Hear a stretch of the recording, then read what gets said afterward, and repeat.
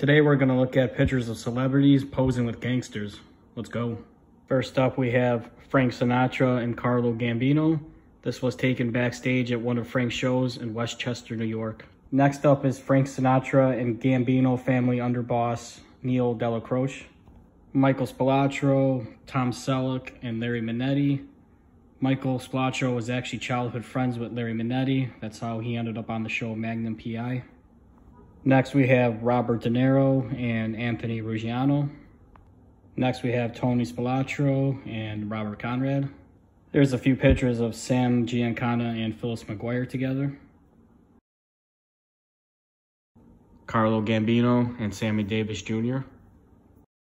Frank Sinatra and Jimmy the Weasel Fratianno. Frank Sinatra and Michael Spilotro.